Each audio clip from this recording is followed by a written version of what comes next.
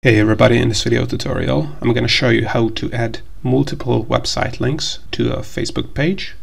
Alright, so if you open up this Facebook page you can see that one website link has been added on the intro section of the Facebook page, but you can add multiple ones here and here's how you can do that. So first of course open up the Facebook page and make sure you are switched into the Facebook page so you can manage the page. And once you are switched into the page all you have to do is click on the about section under the profile photo then scroll down to websites and social links. And to add multiple websites, all you have to do is click on the pencil icon here. And as you can see under the original website, you can also add another website here and another website. I think you can add at least five websites here. Then once you edit all of the website, just click on save.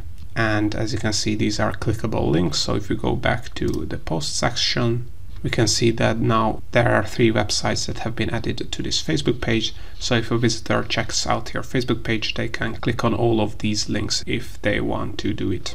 And you can of course also add a learn more button here, action button, and people can also use that button to check out your websites. I have another tutorial on that if you want to check that out, but all notice how you can add multiple websites to a Facebook business page.